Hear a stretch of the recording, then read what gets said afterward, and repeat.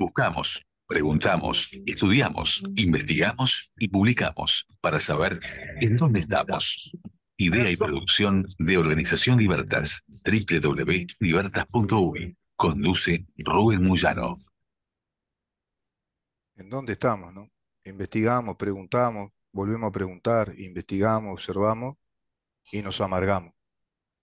Preguntamos, observamos, leemos la Constitución, leemos las leyes que legislan y nos amargamos. Está con nosotros el doctor Gustavo Subía. Estaba escuchando un tango, doctor, que dice, es impresionante, ¿no? Claro, eh, uno se emociona muchas veces con estas cosas para bien o para mal, cuando dice, envuelto en la ilusión, anoche lo escuché, compuesta la emoción por cosas de mi ayer, la casa en que nací, la reja y el parral, la vieja calecita y el rosal. Su acento es la canción de voz sentimental, su ritmo es el compás que vive en mi ciudad, no tiene pretensión, no quiere ser procas, se llama tango y nada más. Acá le podríamos poner, se llama lenguaje español y nada más. No tiene pretensión el idioma español, no quiere ser procas. ¿Para qué agregarle un mal ejemplo en cada frase? ¿no? ¿Cómo le va, doctor? ¿Cómo está? Bueno, si me, este. si me, espera, traigo el piano. Si me espera, traigo el piano. Pero está muy, está muy deprimido hoy por el clima que nos rodea. Es un clima de, de tristezas con este, con este frío. Este, pero no, no comparto con ustedes la, el estado emocional. Lo que sucede es que toda la vida en su integridad es de un desconocimiento muy profundo, de un desconocimiento muy profundo el que tenemos sobre la realidad. La verdadera realidad no la conocemos. Pero hay un desconocimiento profundo de la Constitución, leyes inconstitucionales por todos lados, la de la Fiscalía General de la Nación, el Código del Proceso Penal. Ahora me veo caja de Pandora. Ah, claro, la ley que crea la JUTEP es inconstitucional, porque la, la crea como un servicio descentralizado, cuando la Constitución dice que los servicios descentralizados solo con fines comerciales o industriales. Pero la, Fiscalía fue un servicio descentralizado que no tuvo fines comerciales. En principio, pienso. Por eso es inconstitucional, por eso le digo. Más allá de que está el proceso abreviado de por medio, mm. donde muchas veces la reparación pecuniaria lleva a mejores destinos, pero no tiene en principio esa obligación. Eh, Rubén, para iniciar, porque sé que estaba con este tema, lancé un tweet al, al éter, que obviamente ya me cayeron, eso es lo que me gusta. Se ve que los que, los que sirven de algo enseguida son objeto de una denigración masiva. Dice así, no enseñes a multiplicar, usa la calculadora. No enseñes a cocinar, llama el delivery. No enseñes a pensar, pone internet. No conozcas los archivos, escucha el relato. Ese es el, el tweet que, ahora acabo de lanzar a la de mañana, bastante bien recibido, pero con varias este, acotaciones de los, muchachos, las focas, que obviamente se especializan este, en, torpedear. usted, tira, tira un ex, porque ahora usted se crucifica ahora, porque ahora es ex, no es más Twitter, ahora es la ex, la X. Entonces usted tira ese ex y se tiñe de rojo después todo eso. No, pero me, gusta. Lo que, no, no, yo sé que a usted le gusta, yo sé. Pero, yo, yo disierno los datos objetivos de la realidad. ¿no? Es decir, campea la ignorancia ideológica, los adoctrinados que desde una ignorancia brutal se, se autoabrogan el derecho de criticar, de denostar, de decir cualquier cosa, y el Estado de Derecho está siendo como así, como una, como una cera derretida, se está cayendo a pedazos. Y no es el Estado de Derecho, el Estado de Derecho es consecuencia del sistema general que nos rodea.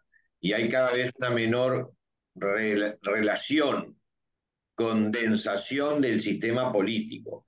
No es que la política... Pero con los principios de la Constitución, doctor. O sea, el Estado de Derecho ya lo tiraron, ya lo golpearon. Por ejemplo, eh, usted, usted no tiene ya el, el, proceso con las correspondientes garantías de un debido proceso de acuerdo a este código. Usted tiene una JUTEP que ahora tiene atribuciones impresionantes desde un como organismo descentralizado, es inconstitucional. Usted tiene la Fiscalía, que es un organismo descentralizado, es inconstitucional. Derogaron la ley de caducidad, no se puede derogar porque es una revocación, es, una renuncia procesal, es irrevocable, tiene fuerza de cosa juzgada. La derogamos. Metemos una fiscalía de lesa humanidad, no, porque no hay delitos de lesa humanidad en esa época, porque no se puede aplicar la retroactividad de la ley penal más grave. Bueno, pero además marcamos un periodo histórico y metemos una fiscalía, además, fiscalía, ¿eh? trámite administrativo, ni siquiera un juzgado que tampoco sería inconstitucional. ¿Seguimos? La ley de género es inconstitucional, viola el artículo octavo. Pero dele material a la vida. Dele material a la vida. la ah, vida le plantea este material para legalizan, legalizan el homicidio, el aborto por la sola voluntad de la mujer. Violan el artículo 7, principio fundamental, ¿no? Derecho fundamental, derecho a la vida. Dice nuestro Estado, yo tengo razón de ser porque reconozco y protejo la vida, derecho fundamental, ¿no? El honor de la vida, etcétera. No, vamos y legislamos el aborto por la voluntad de la mujer. Después estaba el proyecto de la eutanasia, no sé si salió o no salió. Es decir, hacemos lo que queremos, no importa ya la constitución, ya no interesa mucho. Estamos, es verdad, lo que dice es un, un tema de debilidad institucional muy fuerte que ha venido operando en estos últimos años. Pero la función es modificar en algo. En todo lo que usted ha dicho, yo simplemente apunto mi amarrueco, como decía mi abuela, que es la modificación por lo menos del sistema de poder en la Fiscalía General de la Nación. Eh. Aunque sea, no es una modificación de su naturaleza jurídica, pero es una modificación porque además del tema institucional, opera el tema político. Llegó la coalición y no ha intentado siquiera, y va a ser el primer gobierno en la historia del Uruguay, que siendo gobierno no pudo tener injerencia en la designación de las autoridades de la Fiscalía. Y así estamos con una consecución. Hace dos días se vino a confirmar la absolución de los jóvenes de la llamada violación del cordón. Se vino a confirmar del punto de vista jurisdiccional. Bueno, esa llamada violación del cordón, mire toda la estela en el mar que fue dejando. En primer lugar, como supuesta violación, fomentó el abrir juicio sobre el hecho en forma inmediata por una cantidad de actores que tendrían que tener esa prudencia que siempre se debe tener en materia de juzgamiento de conductas ajenas. El presidente de la República, nuestro presidente, conociendo el hecho denunciado de la violación, la llamada violación del cordón, hizo manifestaciones terminantes en que debería caerle todo el peso de la ley a los eventuales infractores, porque era, y lo calificó al hecho en forma de, muy florida, por otra parte. es el, eh, parece el tío abuelo que sale a hablar eh, de, moral, la moralina del tío abuelo. Pero además es abogado el presidente. Claro, no sabe, se ve que no sabe. Tendría que haber tenido la prudencia, la prudencia de la presunción de inocencia, por lo menos.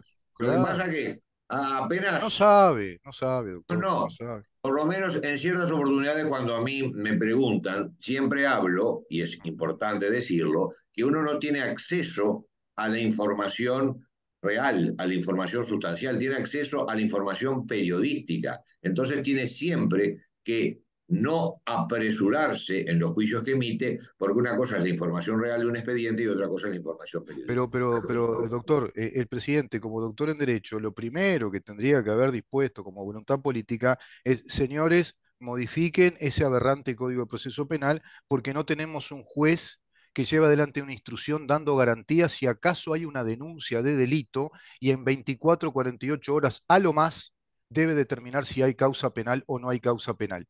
¿Eso no lo sabe? Por lo tanto, la presunción de inocencia de la que usted habla es en sede jurisdiccional dentro del Poder Judicial. Y ahí estaban en un trámite administrativo desde una acusación fiscal y abre la boca el presidente a decir que si es un hecho aberrante, hay que caerle con todo el peso de la justicia. Yo le dije al presidente, se lo adelanté cuando hablaron del caso de Penades, creo que fue, no, del caso de Fossati, y no diga que queda en manos de la justicia porque está en la órbita del poder ejecutivo, como servicio centralizado cuando el fiscal Gómez, eh, en un acto irregular administrativo, la saca de la, causa que está investigando Fossati y él no aplicó para nada lo que podría haber aplicado constitucionalmente. Déjeme seguir la senda en el océano que fue quedando. La del presidente es la segunda y la tercera fue, recordémoslo, el fiscal Iglesias modifica la medida cautelar sobre estos presuntos infractores. Les da prisión domiciliaria, ¿verdad? A prisión domiciliaria. Y esa fue la causa central por lo que lo decapitaron al fiscal, que le hicieron sumario, lo separaron del cargo a medio sueldo, quebrándole la vida. Porque la otra causa que se invocó, que era el número de archivos que había llevado a cabo Iglesias, yo que conozco la interna le puedo decir que esos archivos que hizo Iglesia son la tercera parte, la mitad de numerosos archivos que hicieron otros fiscales que se encuentran, sin embargo, ideológicamente muy cercanos al poder en la Fiscalía de Corte.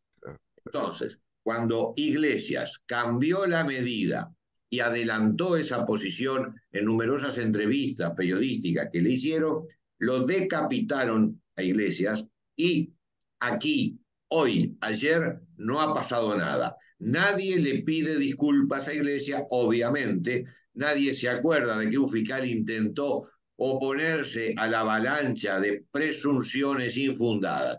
Y hoy tenemos que la violación del cordón ha quedado como un hecho más.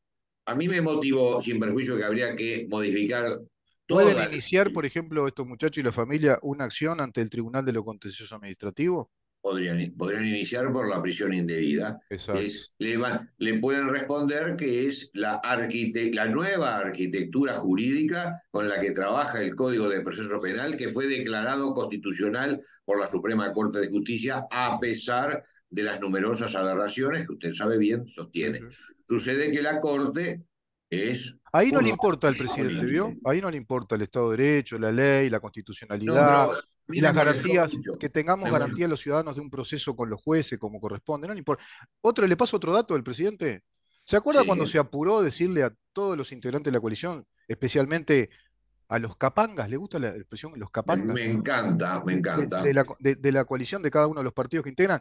Che, muchachos, vamos a acelerar eh, la suspensión de fuero de penadez porque estamos en una política de luchar contra la corrupción y, hay que sacarle los fueros a penadez. Y no, no había que sacarlo fuera porque 114 no, no habilitaba suspender fuera. Pero no sé, o no sabe, no estudia.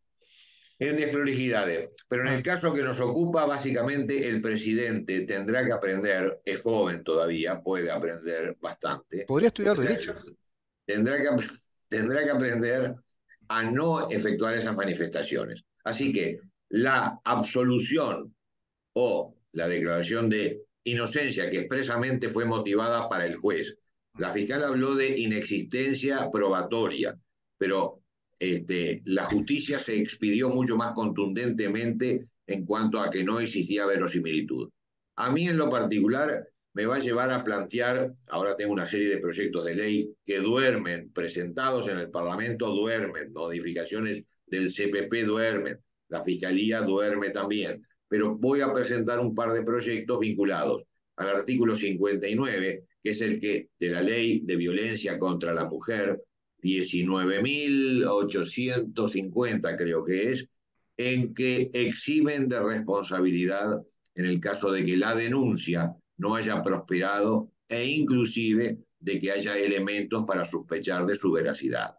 Si bien siempre el sistema judicial ha sido tenue y ha sido ha actuado con mucha precaución para sancionar a una persona que efectúa una denuncia, aunque esta no se pruebe, porque a veces no hay elementos para probarla, en determinadas circunstancias pueden darse los elementos probatorios para determinar que la denuncia fue dolosamente falsa. y en esos casos... Simulación de delito. Sí, el artículo 59 de la Ley de Violencia contra la Mujer expresamente exime de responsabilidad y en este caso quedó probado, y, y si no habrá que abocarse a qué prueba existe para poder diligenciarla, de que la femenina que efectuó la denuncia a través de los audios, aquellos que levantó eh, el compañero periodista eh, ah. Bueno, a, a, través de ese tránsito podrá probarse la existencia de un dolo al momento de efectuar la denuncia. Y eso podría servir para reencauzar en algo el desmadre, por supuesto que usted se encargó de, delimitar en lo que significa en este momento las inconstitucionalidades varias que nos, por, por doquier.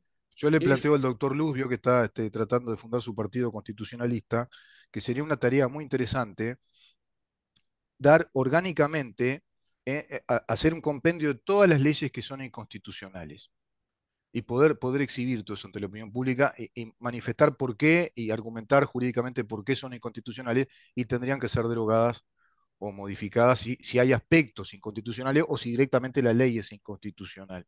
Pero lo que pasa que, como el propio Luz lo sostiene, es el magistrado, en este caso la Corte, la que determina efectivamente la valencia de esas apreciaciones que usted está haciendo. Bueno, pero el Poder Legislativo puede, por la vía legislativa, decir, no, como esta ley es una defecio, vamos, a derogarla y vamos a poner una ley como corresponde. Ah, pero ah, la, derogación que el Poder Legislativo puede hacer... Porque el Poder Legislativo es el culpable.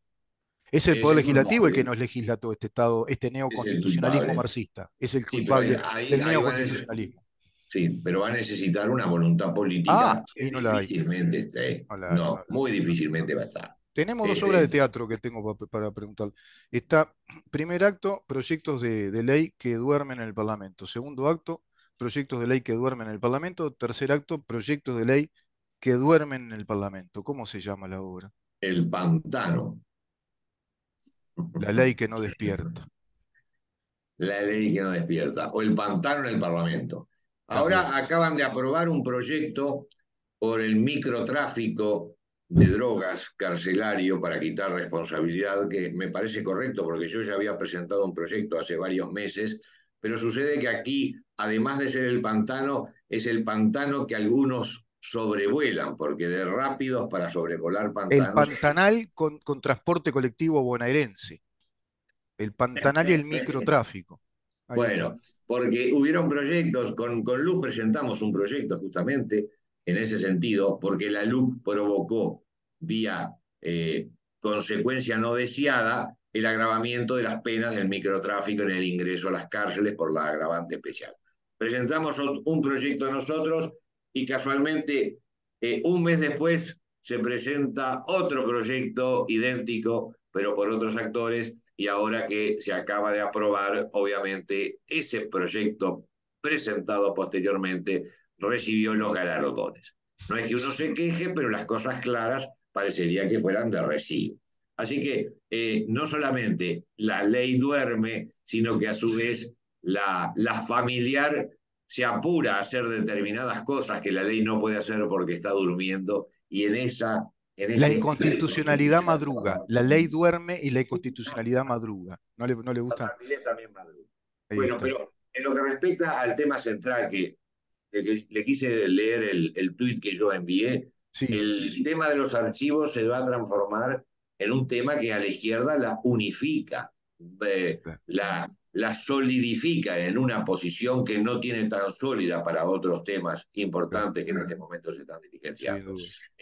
esa unificación de la posición de izquierda lleva a que obviamente hay un temor importante a lo que pueda surgir de esa información.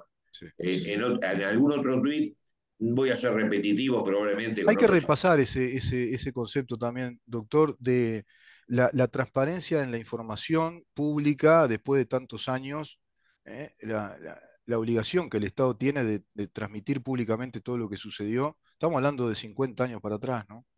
pero además los actores, y en eso voy a ser repetitivo, imagino de algún invitado que usted debe haber tenido. Sí, estuve con Álvaro Alfonso conversando el tema. Mm. Estuvieron con Álvaro. Bueno, eh, los actores han sostenido verdad y justicia. Ese ha sido el lema fundamental que los ha motivado a ingresar estos 50 años en la permanente prédica buscando información y buscando eventuales responsabilidades. Creo que en Chile es lo mismo, el mismo lema, verdad y justicia, y en Argentina también, qué casualidad, ¿no? ¿Por qué será, doctor? Qué, casualidad. Y en, España están ahora iniciando... Ah, también en España, también. Tardía, tardíamente las responsabilidades por... Verdad y justicia, el mismo lema, ¿vio? Igual. Por los gobiernos franquistas de hace ya no 50, hace 70 años. Claro. y los libretos en eso, mire, en eso no soy tan severo porque el uruguayo siempre copió. El partido, no, ¿sabe lo que pasa, doctor? Que el Partido Comunista es exactamente igual a la, Coca-Cola, hasta en el color. O sea, es una internacional como es una interna es eso, es una internacional. Entonces todo esto tiene una réplica, una clonación en todos lados, es lo mismo. Pero Rubén, usted, tiene que comenzar a escribir letras de tango. Ah. Tiene que comenzar a escribir. Yo ahora estoy abocado Envuelto en la ilusión, anoche lo escuché, con vuelta la emoción por cosas de ayer. Le cuento algún secreto porque conversar con usted tiene algo de intimidad por este medio que usamos. Estoy abocado, quizás me roban la idea, no hay problema, estoy abocado a adaptar el tango Cambalache para una música política para nuestra agrupación La 9007. Estoy abocado a hacerlo. Es complicado, es complicado, pero estoy abocado, porque me han hecho otras propuestas, compañeros muy interesantes, pero pertenecen a una música melódica que si bien es pegadiza al oído, no es pegadiza al Tiene que ser guerrera en el corazón, una música épica, épica. Cambalache posibilitaría una letra muy interesante, pero no es fácil. De repente, si, si usted me ayuda, vamos a contratar sus servicios para adaptar Cambalache a la prédica que hemos hecho permanentemente en estos años, que ha sido a contrapelo, a contrapelo del frente y a contrapelo de la coalición. Eh, ayer con todo manifesté por primera vez. Y no tenemos que ir, doctor. No tenemos que ir. Le digo la última idea. Manifesté mi adhesión al ministro Heber en la crítica que hace a la jueza operativa en el caso de la pulsera, de, de la pulsera, no, de, de la tobillera deteriorada y con qué facilidad se otorgan estos beneficios. Cuando le tengo que caer a Heber, le caigo, y bastante que le estoy cayendo. Pero en ese caso, estimo que es pertinente la queja porque al final una pierna que es la policía anda mal, la otra pierna que es el sistema de justicia anda mal. Estamos paliados en las piernas. Sí, sí, sí. Doctor, este, cuente conmigo respecto a eso. Intentaremos, intentaremos hacer algo ah, respecto a eso. Si, esa épica algo, yo, estoy barruntando. Capaz que le paso lo que estoy barruntando de letra y usted me lo complementa. Perfecto. Gracias, doctor. que pase muy bien. Buen fin de semana. ¿eh? Gracias igualmente. El doctor Gustavo Subía conversando con nosotros en su columna de los viernes, diputado por tercera vía, Partido Colorado. Nos vamos, nos reencontramos el próximo lunes y a partir de las 10 de la mañana seguimos preguntando en dónde estamos. Chau.